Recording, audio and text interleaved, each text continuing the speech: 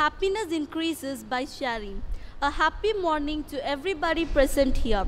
Today is the day to be engraved in the history of Class 9.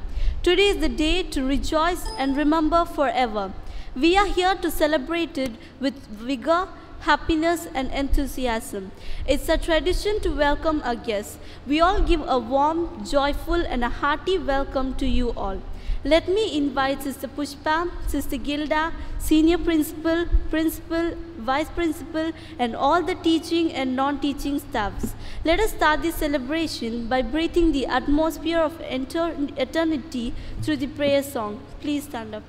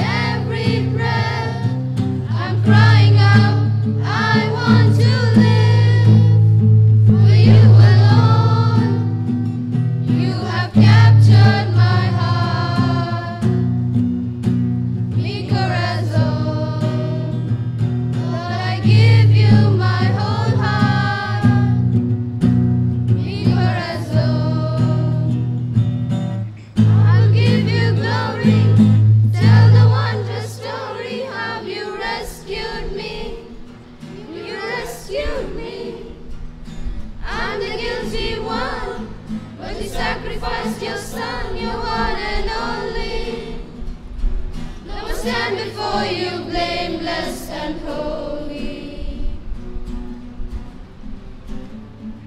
My soul says, my spirit shouts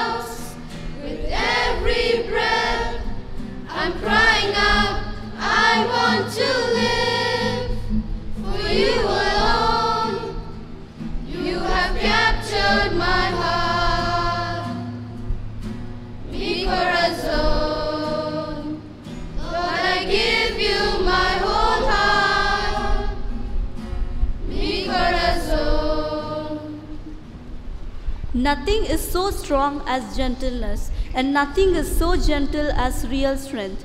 Here comes Master Joe Clinton to read the good news of the Lord. Reading from the book of Isaiah, chapter 9, verses 6 and 7. For a child has been born for us, a son given to us. Authority rests upon his shoulders, and he is named Wonderful Counselor, Mighty God, Everlasting Father, Prince of Peace.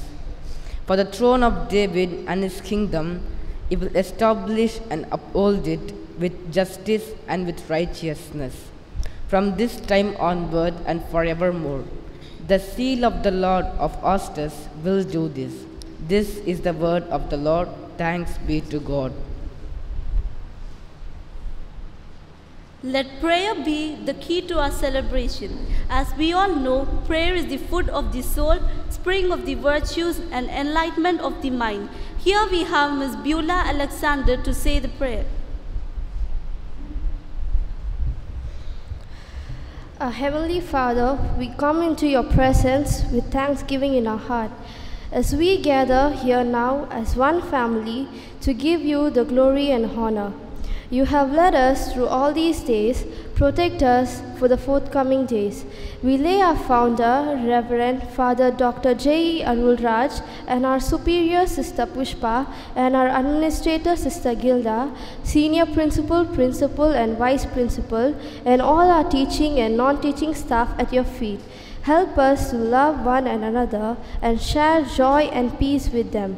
Help us to study well and come out with flying colors. We make this prayer through Christ our Lord. Amen. Let us recite our Lord's Prayer. Our Father, who art in heaven, hallowed be thy name. Thy kingdom come, thy will be done, on earth as it is in heaven. Give us today our daily bread, and forgive us our trespasses, as we forgive those who trespass against us. And lead us not temptation, but deliver us from evil. Amen.